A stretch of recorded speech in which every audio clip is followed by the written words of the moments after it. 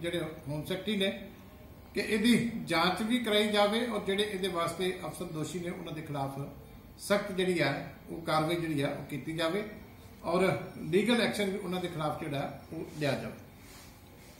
ਦੂਜੀ ਗੱਲ ਹੈ ਕਿ ਜਿਹੜੀ ਪੰਜਾਬ ਦੇ ਵਿੱਚ ਇੱਕ ਪਾਸੇ ਲੋਕੀ ਗੜੇਮਾਰੀ ਤੇ ਬਾਰਿਸ਼ ਕਰਕੇ ਪਰੇਸ਼ਾਨ ਹੋਇਆ ਹਾਲੇ ਤੱਕ ਬਹੁਤ ਥਾਵਾਂ ਤੇ ਝੋਨਾ ਨਹੀਂ ਵੱਢਿਆ। ਪਾਣੀ ਕਈ ਥਾਵਾਂ ਦੇ ਉੱਤੇ ਹਾਲੇ ਵੀ ਫਸਲਾਂ ਦੇ ਵਿੱਚ ਖੜਾ ਹੈ।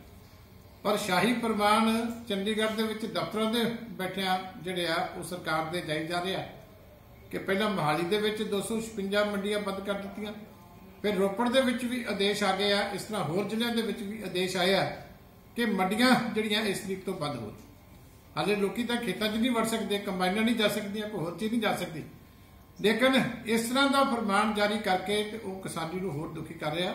ਅਸੀਂ ਸਰਕਾਰ ਨੂੰ ਚੇਤਾਵਨੀ ਦਿੰਦੇ ਹਾਂ ਕਿ ਮੰਡੀਆਂ ਦਾ ਕੰਮ ਉਨੀ ਦੇਰ ਤੱਕ ਚੱਲਣਾ ਚਾਹੀਦਾ, ਜਿੰਨੀ ਦੇਰ ਤੱਕ ਸਾਰੀ ਫਸਲ ਜਿਹੜੀ ਹੈ ਕਿਸਾਨਾਂ ਦੀ, ਉਹ ਚੁੱਕੀ ਨਹੀਂ ਜਾਂਦੀ। ਇੱਕ ਵੱਡਾ ਫੈਸਲਾ ਹੈ ਕਿ ਜਿਹੜਾ ਸ਼੍ਰੋਮਣੀ ਅਕਾਲੀ ਦਲ ਦਾ, ਜਿਹੜਾ ਸਾਡਾ 14 ਦਸੰਬਰ 2021 ਨੂੰ ਪਾਰਟੀ ਸਾਡੀ 100 ਸਾਲ ਪੂਰੇ ਕਰ ਚੁੱਕੀ ਹੈ, ਉਸ ਦਿਨ ਇੱਕ ਇਤਿਹਾਸਕ ਵੱਡਾ ਵਿਸ਼ਾਲ ਪ੍ਰੋਗਰਾਮ ਜਿਹੜੀ ਮੋਗਾ ਰੈਲੀ ਦੇ ਰੂਪ ਦੇ ਵਿੱਚ ਉਹ ਅਸੀਂ 14 ਨੂੰ ਕਰਾਂਗੇ। ਉਹਦੀ ਤਿਆਰੀ ਦੇ ਸਬੰਧ ਦੇ ਵਿੱਚ ਜਿਹੜੇ ਪ੍ਰਧਾਨ ਸਾਹਿਬ ਨੇ, ਸਾਰੇ ਜਿਹੜੇ ਸਾਡੇ ਜ਼ਿਲ੍ਹਿਆਂ ਦੇ ਅਬਜ਼ਰਵਰ ਸਾਹਿਬਾਨ ਹਨ ਉਹਨਾਂ ਦੀਆਂ ਡਿਊਟੀਆਂ ਲਗਾ ਦਿੱਤੀਆਂ ਹੈ ਕਿ ਉਹ ਸਾਰੇ ਪੰਜਾਬ ਦੇ ਜ਼ਿਲ੍ਹਿਆਂ ਦੇ ਵਿੱਚ, ਵੱਖ-ਵੱਖ ਹਲਕਿਆਂ ਦੇ ਵਿੱਚ ਜਾ ਕੇ ਹਲਕਾ ਵਾਈਜ਼ ਵਰਕਰ ਮੀਟਿੰਗ ਕਰਕੇ ਤੇ 14 ਦਸੰਬਰ ਨੂੰ ਸਾਰਿਆਂ ਨੂੰ ਮੋਗੇ ਪਹੁੰਚਣ ਵਾਸਤੇ ਜਿਹੜੀ ਆ ਉਹ ਪੁਰਜੋਰ ਅਪੀਲ ਜਾ ਕੇ ਕਰਾਂਗੇ। ਉਹਦੇ ਵਿੱਚ ਸਾਰੀ ਤਿਆਰੀ ਕਰਨ ਵਾਸਤੇ ਡਿਊਟੀਆਂ ਵੀ ਲੱਗੀਆਂ ਔਰ ਸਾਰੇ ਉਹਦੇ ਬਰੀਕੀ ਦੇ ਨਾਲ ਪ੍ਰਬੰਧ ਜਿਹੜੇ ਆ ਇਹ ਜਿਹੜੀ ਹੋਏਗੀ, ਸਾਡੀ ਕਾਨਫਰੰਸ ਇੱਕ ਇਤਿਹਾਸਕ ਕਾਨਫਰੰਸ ਹੋਏਗੀ, ਕਿਉਂਕਿ ਸ਼ਤਾਬਦੀ ਦੇ ਨਾਲ ਸੰਬੰਧਿਤ ਹੈ। ਔਰ ਬਹੁਤ ਵੱਡੀ ਗਿਣਤੀ ਦੇ ਵਿੱਚ ਇਹਦੇ ਵਿੱਚ ਸਾਰੇ ਪੰਜਾਬ ਤੋਂ ਜਿਹੜੇ ਆ, ਸਾਡੀ ਪਾਰਟੀ ਦੇ ਵਰਕਰ ਜਿਹੜੇ ਆ, ਉਹਦੇ ਵਿੱਚ ਸ਼ਾਮਲ ਹੋਣਗੇ। ਹੋਰ ਵੀ ਸ਼ਖਸੀਅਤਾਂ ਇਹਨੂੰ ਸੰਬੋਧਨ ਕਰਨਗੀਆਂ, ਉਹਦਾ ਫੈਸਲਾ ਜਿਹੜਾ ਬਾਅਦ ਚ ਜਿਹੜਾ ਅਨਾਉਂਸ ਕੀਤਾ ਜਾਏ ਇੱਕ ਜਿਹੜਾ ਵਿਧਾਨ ਸਭਾ ਦਾ ਸੈਸ਼ਨ ਹੋ ਰਿਹਾ, ਉਹਦੇ ਸਬੰਧ ਦੇ ਵਿੱਚ ਵੀ ਪਾਰਟੀ ਨੇ ਮਤੇ ਕੀਤੇ ਆ। ਕਿਤੇ ਸੂਬੇ ਦੀ ਸਰਕਾਰ ਨੂੰ ਜਿਹੜਾ ਉਹ ਕਿਹਾ ਕਿ ਤੁਸੀਂ ਬੀਐਸਐਫ ਦੇ ਹਵਾਲੇ ਜਿਹੜਾ 50% ਪੰਜਾਬ ਕਰਵਾ ਦਿੱਤਾ, ਜਿਹਦੇ ਚ ਮੁੱਖ ਮੰਤਰੀ ਸਾਹਿਬ ਦੀ ਵੀ ਸਹਿਮਤੀ ਹੈ, ਸੂਬੇ ਦੀ ਸਰਕਾਰ ਦੀ ਵੀ ਸਹਿਮਤੀ ਹੈ। ਤੇ ਹੁਣ ਸਰਕਾਰ ਮਗਰਮੱਛ ਦੇ ਹੰਝੂ ਵਹਾਉਣ ਦੀ ਕੋਸ਼ਿਸ਼ ਕਰ ਰਹੀ ਹੈ।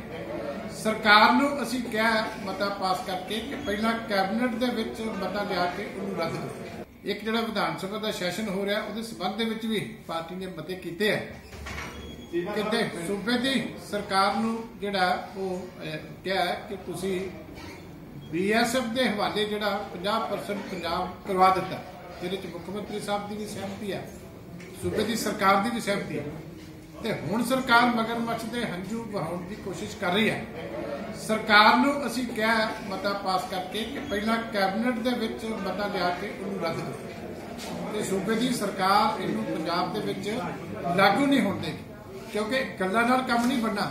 ਇਹਨਾਂ ਦੀ ਡਿਊਟੀ ਬਣਦੀ ਹੈ ਕਿ ਕਿਹੜਾ ਕੈਬਨਿਟ ਡਿਸੀਜਨ ਲੈਣ ਇਸ ਗੱਲ ਦੇ ਉੱਤੇ ਕਿ ਇਹ ਜਿਹੜਾ ਰੱਦ ਹੋਣਾ ਚਾਹੀਦਾ ਦੂਜੀ ਗੱਲ ਹੈ ਕਿ ਪਿੱਛੇ ਇਹਨਾਂ ਨੇ ਫਾਰਮੈਲਿਟੀ ਪੂਰੀ ਕਰ ਦਿੱਤੀ ਸੀ ਕਿ ਜਿਹੜਾ ਹੈਗਾ ਮਾਮੂਲੀ ਤਰਮੀਮਾ ਕਰਕੇ ਤੇ ਤਿੰਨੇ ਕਾਲੇ ਕਾਨੂੰਨ ਅਸਿੱਧੇ ਤਰੀਕੇ ਦੇ ਨਾਲ ਲਾਗੂ ਕਰਾ ਦਿੱਤੇ ਹੁਣ ਵੀ ਅਸੀਂ ਕਹਿੰਦੇ ਆ ਕਿ ਅਸੈਂਬਲੀ ਦੇ ਵਿੱਚ ਜਾਣ ਤੋਂ ਪਹਿਲਾਂ ਕੈਬਨਿਟ ਫੈਸਲਾ ਲਵੇ, ਤਿੰਨੇ ਕਾਲੇ ਕਾਨੂੰਨ ਰੱਦ ਕਰੇ ਜੇ ਕੈਬਨਿਟ ਹੀ ਫੈਸਲਾ ਨਹੀਂ ਲੈਂਦੀ ਰੱਦ ਕਰਨ ਦਾ, ਤੇ ਫਿਰ ਤੁਸੀਂ ਅਸੈਂਬਲੀ 'ਚ ਜਾ ਕੇ ਕੀ ਕਰਨਾ?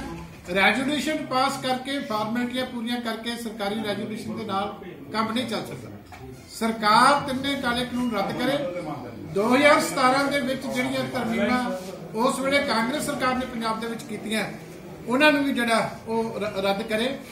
ਇਸੇ ਤਰ੍ਹਾਂ ਹੀ ਡੀਜ਼ਲ ਤੇ ਪੈਟਰੋਲ ਦੀ ਜਿਵੇਂ ਪਹਿਲਾਂ ਜ਼ਿਕਰ ਕੀਤਾ ਉਹਦੇ ਰੇਟ ਸੂਬਾ ਸਰਕਾਰ ਨੂੰ ਘਟਾਉਣ ਵਾਸਤੇ ਵੀ ਰੈਗੂਲੇਸ਼ਨ ਪਾਸ ਕੀਤਾ ਔਰ ਜਗਦੀਸ਼ ਟਾਈਟਲਰ ਦੀ ਜਿਹੜੀ ਨਿਯੁਕਤੀ, ਜਿਹੜੀ ਸਿੱਖਾਂ ਦੇ ਜ਼ਖਮਾਂ ਦੇ ਉੱਤੇ ਨਮਕ ਛਿੜਕਿਆ, ਉਹਦੇ ਵਾਸਤੇ ਵੀ ਅਸੀਂ ਇਹ ਵੀ ਵਰਤੇ ਚ ਕਿਹਾ ਕਿ ਪੰਜਾਬ ਦਾ ਮੁੱਖ ਮੰਤਰੀ ਦੀ ਜਬਾਨ ਵੀ ਬੰਦ ਹੈ ਔਰ ਕਾਂਗਰਸ ਦਾ ਪ੍ਰਧਾਨ ਜਿਹੜੇ ਇੰਨੇ ਦਮ ਦਮਗਜੇ ਮਾਰਦਾ, ਉਹਨੇ ਸਾਡੇ ਜਬਾਨ ਨਹੀਂ ਖੋਲੀ ਕਿ ਜਗਦੀਸ਼ ਟਾਈਟਲਰ ਨੂੰ ਫੇਰ ਕਾਂਗਰਸ ਨੇ ਵੱਡਾ ਅਹੁਦਾ ਦਿੱਤਾ ਤੇ ਪੰਜਾਬ ਦੀ ਕਾਂਗਰਸ ਦੀ ਲੀਡਰਸ਼ਿਪ ਕਾਂਗਰਸ ਦੇ ਪ੍ਰਧਾਨ, ਕਾਂਗਰਸ ਦੇ ਮੁੱਖ ਮੰਤਰੀ ਚੁੱਪ ਕਿਉਂ?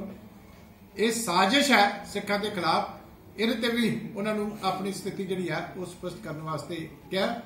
ਇਸ ਕਰਕੇ ਇਹ ਅੱਜ ਮੁੱਖ ਤੌਰ ਦੇ ਉੱਤੇ ਸਾਰੇ ਜਿਹੜੇ ਹੈ, ਇਹ ਸਾਡੀ ਕੋਰ ਕਮੇਟੀ ਦੇ ਫੈਸਲੇ।